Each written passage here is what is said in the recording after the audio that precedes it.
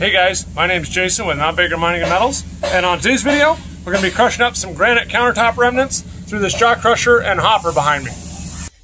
All right guys, so here's an example of some of the stuff we're going to be running today.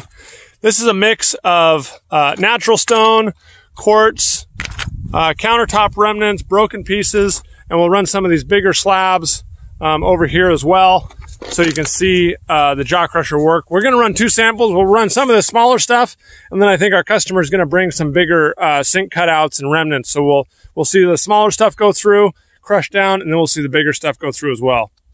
Here's taking a quick look at the system.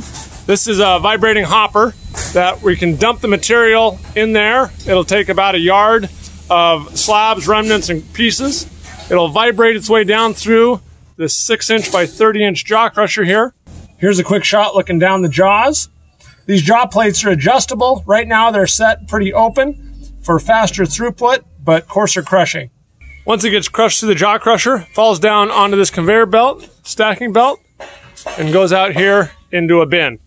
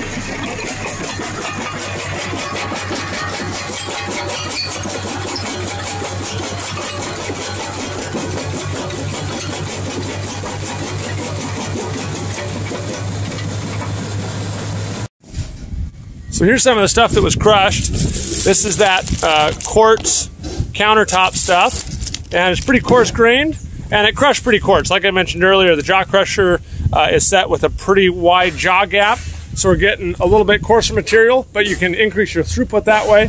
And this customer was interested in crushing a lot of tons really quickly, so they get rid of their rock.